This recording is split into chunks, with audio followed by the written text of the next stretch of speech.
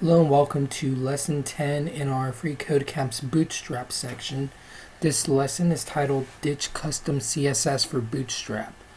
So we can clean up our code and make our cat photo app look more conventional by using bootstrap's built-in styles instead of the custom styles we created. Don't worry there'll be plenty of time to customize our CSS later.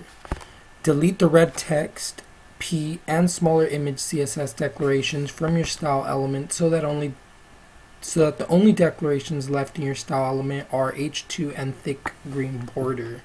Then delete the p element that contains a dead link. Then remove the red text class from your h2 element and replace it with the text primary bootstrap class. Finally, remove smaller image class from your image element and replace it with image responsive class. So let's just start with this uh, first X which says your H2 element should no longer have the class red text. So our H2 element down here.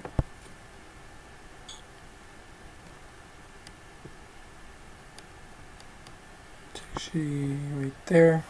So it should no longer contain this class red text. Then it says your H2 element should now have the class text primary. So text primary.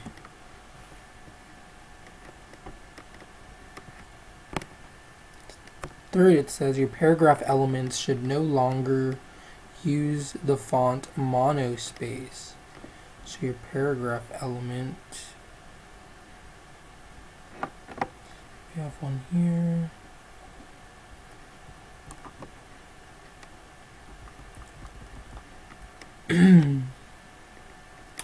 We go to the top.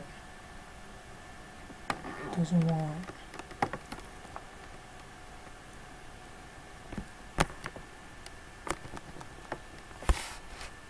Let's just go based on here. So delete, let's start from this top one. Delete red text, MP, and smaller image. So we'll delete this from our CSS declaration. No more of that one. Which other one? The P. Oh, that was the P, I think. Yep. Which other one? The red text we want to erase, which is up here.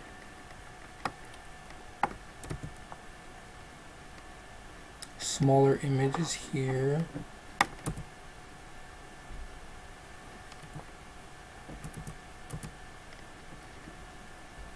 Mm, what else?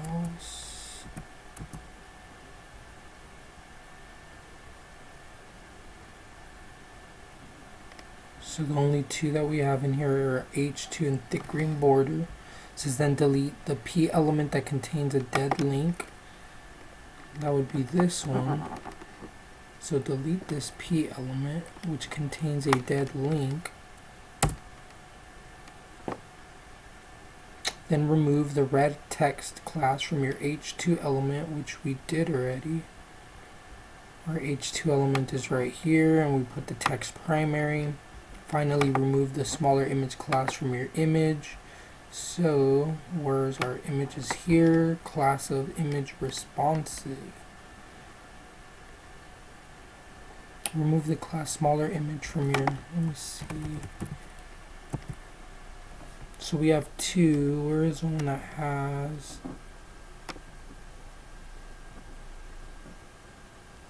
this is a one that has smaller image class. So we want to erase smaller image class and add image responsive. Okay, and that should be good for this section. Pikachu chooses me and you. Good job.